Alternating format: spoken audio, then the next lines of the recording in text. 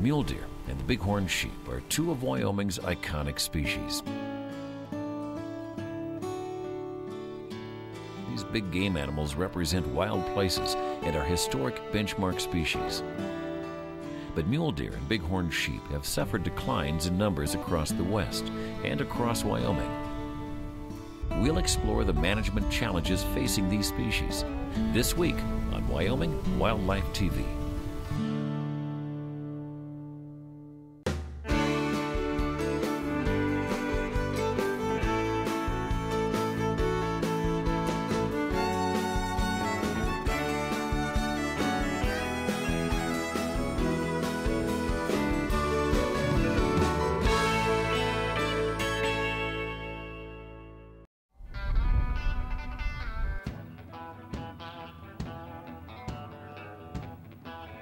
Mule deer are adored by wildlife viewers and hunters alike.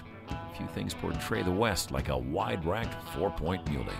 Mule deer are important to Wyoming for a lot of reasons, but to me the, the biggest thing is when, when people think of Western Wyoming, they think of big mule deer. I mean, that's what Western Wyoming has always been about, and that's what we're still about.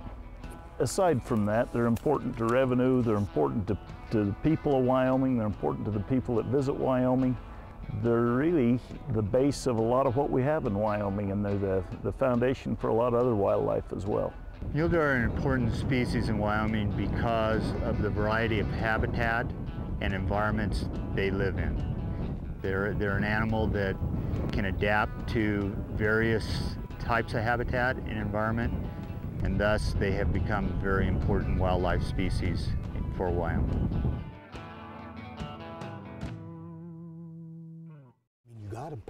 Mule deer are one of the most sought-after game animals by hunters. Mule deer hunting in Wyoming has changed dramatically in the past 30 to 40 years.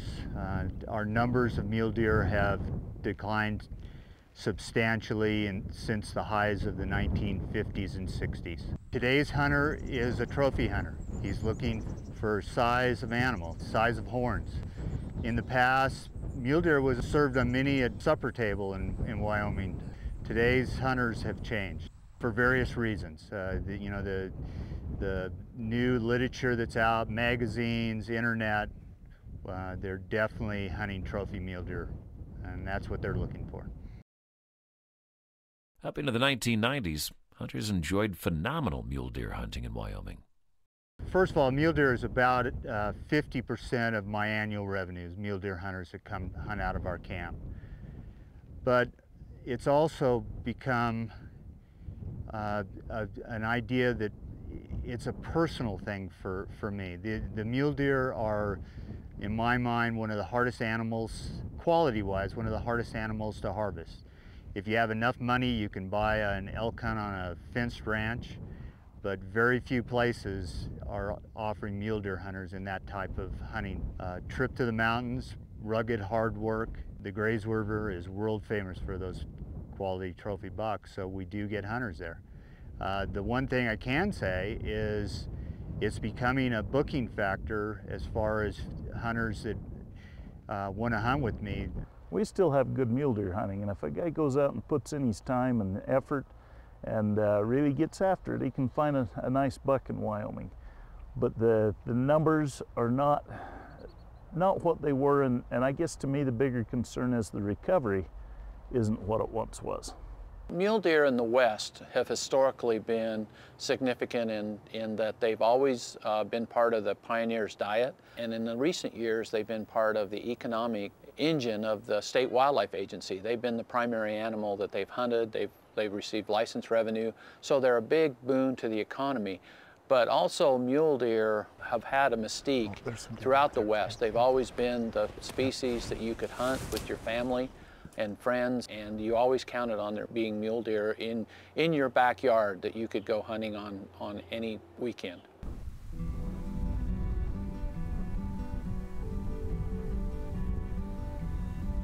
Today, mule deer numbers are down across much of their range.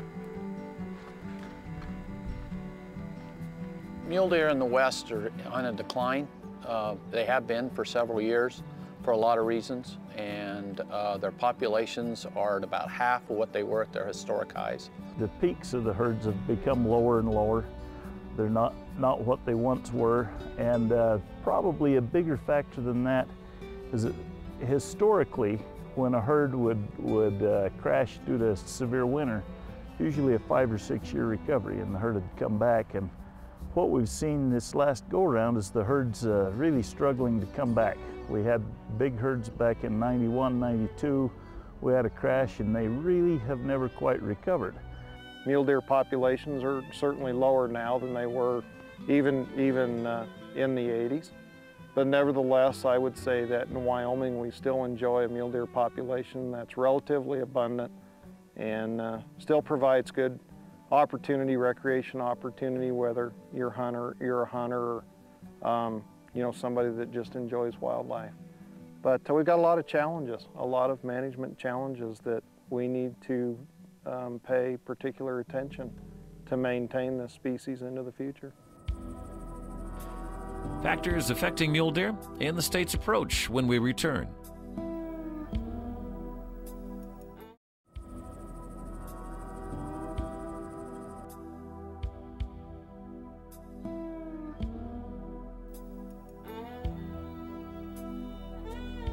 The surge of energy development has misplaced mule deer and led to fragmentation of winter range. Certainly in Wyoming, we're an energy state, and so we have a lot of oil and gas development uh, throughout the state and mule deer habitats. Some of those are critical habitats.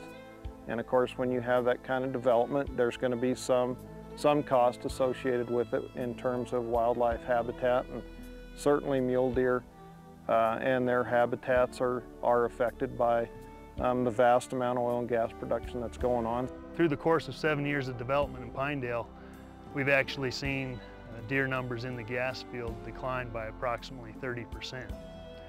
The big question is, well, is that reduction in deer due to gas development or is it due to long-term drought or other environmental factors that may be influencing deer across the region? And so we can look at deer numbers across the entire region and they've only declined 10% during that same time period. And so right now, at least through seven years of development, the best available evidence suggests that once we take a native winter range, convert it to a producing gas field, that winter range simply cannot support the number of deer that it did prior to development. We obviously have a lot of oil and gas development, uh, mining, uh, a lot of resource extractions here in the state. You know, there's concern over urban sprawl. There's also concern over management of predators uh, throughout the state. Mule deer management is a highly complex issue and you know wildlife managers are faced with trying to look at all these different factors that have multiplying impacts on mule deer populations and trying to juggle those and figure out where to where to focus their energy and effort. We certainly believe um, that there's a balance with that kind of development and maintaining those habitats. It can be done. I would suggest that, you know, in this day and age of high demand for energy, that that balance may be a little bit tipped. I think we're starting to get a good handle on how energy impacts uh, winter ranges and mule deer on their winter range. But one of the big information gaps or unknowns now is how energy development affects or doesn't affect migration and migration routes. So our current research is trying to focus on that question of what happens when we develop these migration routes. Do deer simply quit migrating? Do they migrate right through the development, business as usual? Or do they just move around the development and establish new migration routes? Those are all real unknowns that we'll try to address in the future. The Mule Deer Foundation is hard at work protecting and conserving deer habitat. The Mule Deer Foundation's mission is very simple, is to ensure the conservation of mule deer, black-tailed deer, and their habitat. And how we do that is we fundraise through local fundraising banquets, uh, national convention, a lot of different ways we raise money. And our goal is to put as much of that money back on the ground to improve mule deer habitat, to ensure that there's mule deer habitat in the future, and to um, continue to make sure that there will always be mule deer out there for all of us to enjoy.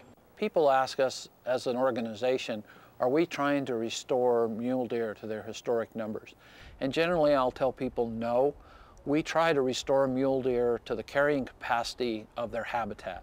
And what that means is, is that there's enough food and water and grass and, and other things that they need that will sustain that population that is there. We're not interested in growing large populations of mule deer that will come to the winter range and end up starving to death and dying, but we want to keep them in balance with their habitat. The Mule Deer Foundation wishes we could do more to help mule deer but it takes a lot of dollars over a large area.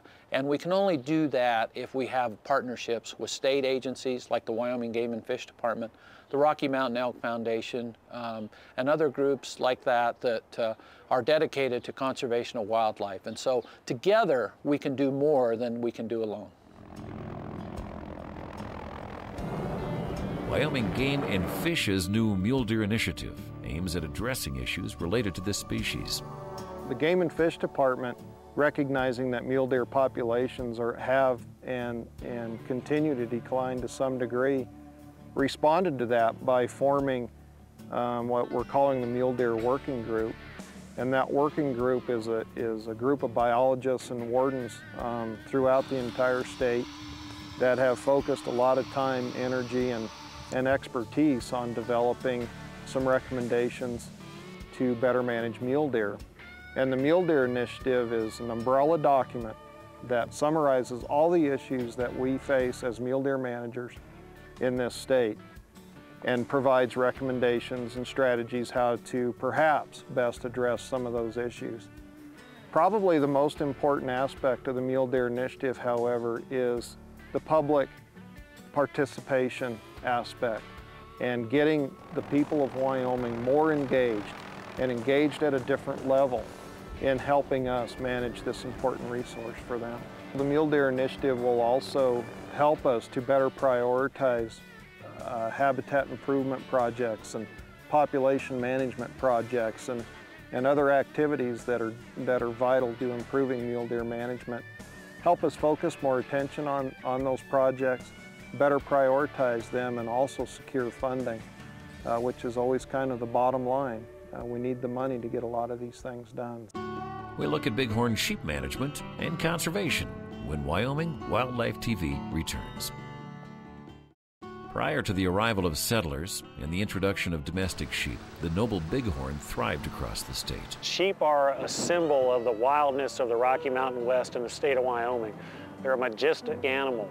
They live in rugged, remote country. And as long as we have healthy uh, wild sheep populations in this state, at least we'll know we're doing something right for wildlife habitat. They represent what is truly wild about the West uh, and Wyoming as well.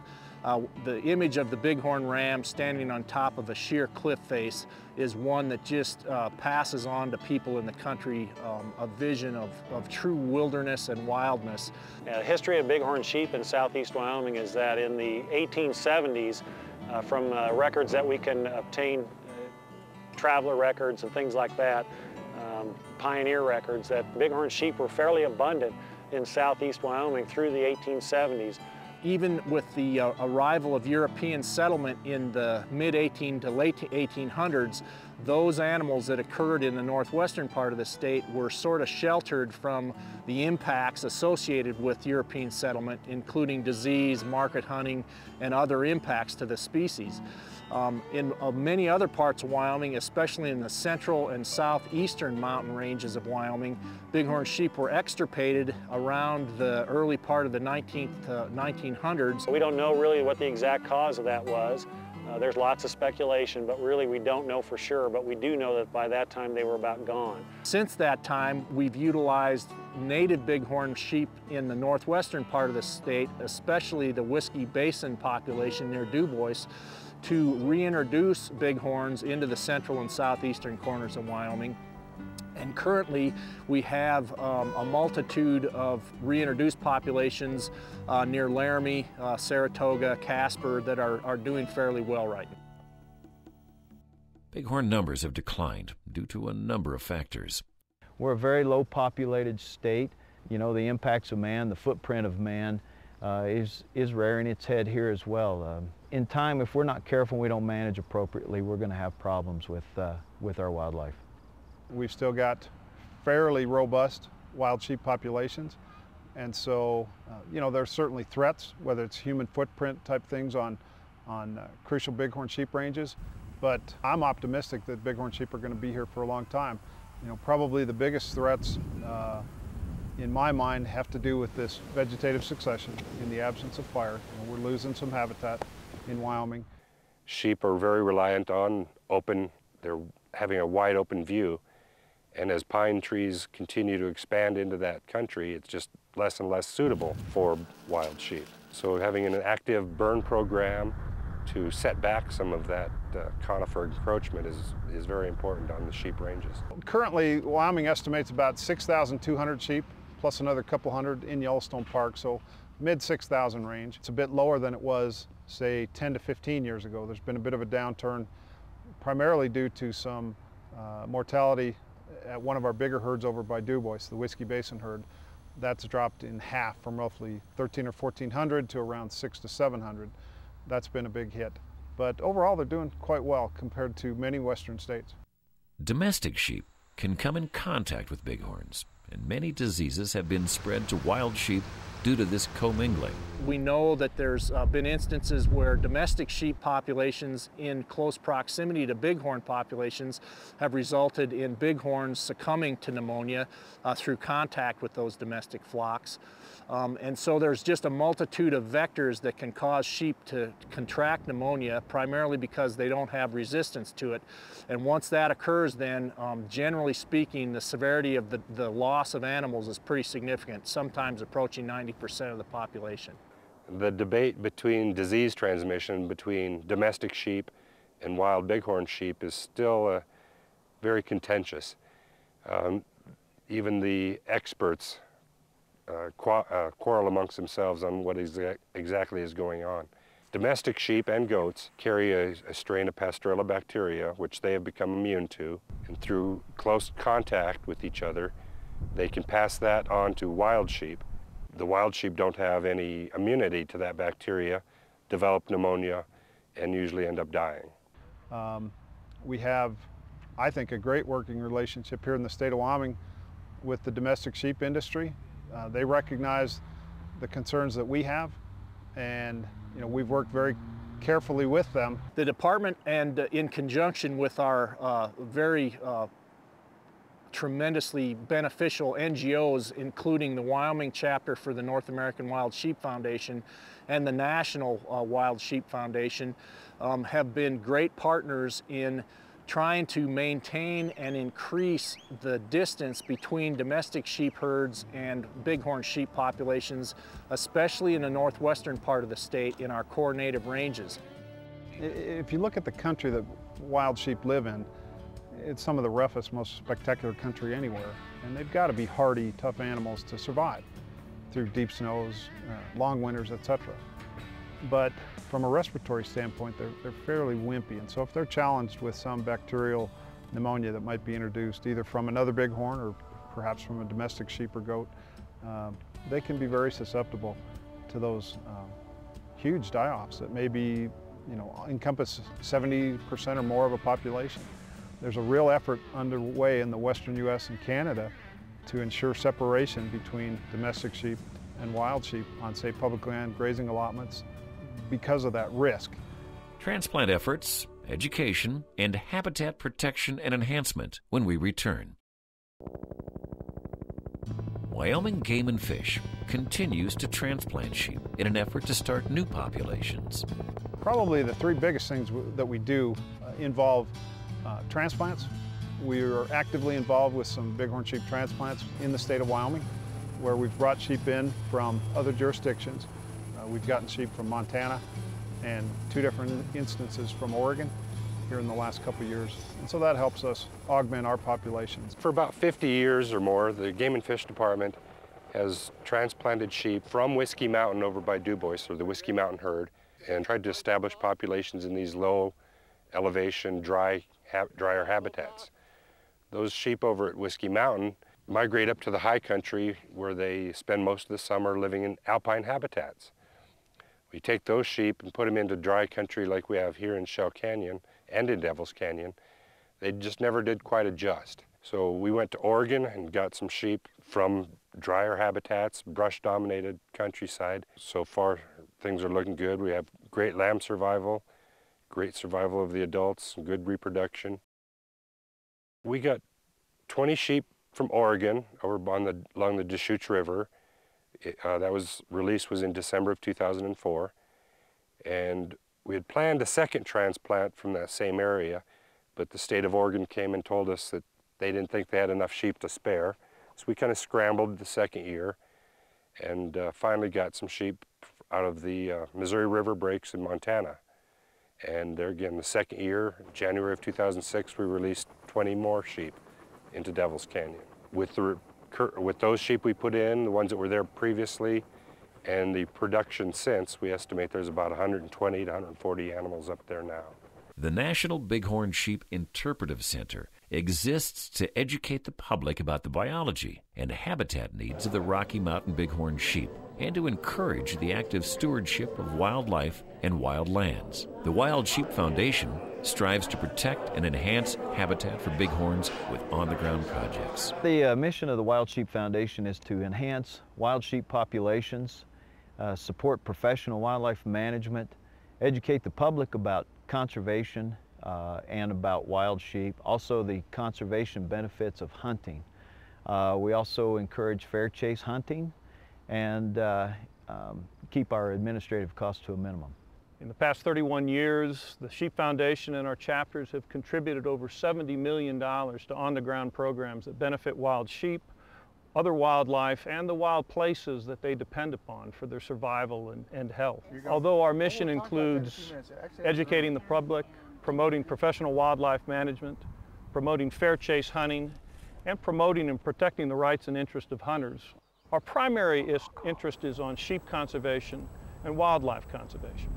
We've, uh, we've worked very closely with federal land agencies uh, that uh, administer federal lands here in Wyoming, also the state game department as well, in uh, trying to mitigate certain problems that we, we have with uh, wild sheep. Also uh, a relationship with the livestock producers, mainly the domestic sheep producers here in Wyoming. We've had a good relationship with and been able to work through some problems that have allowed bighorn sheep to prosper.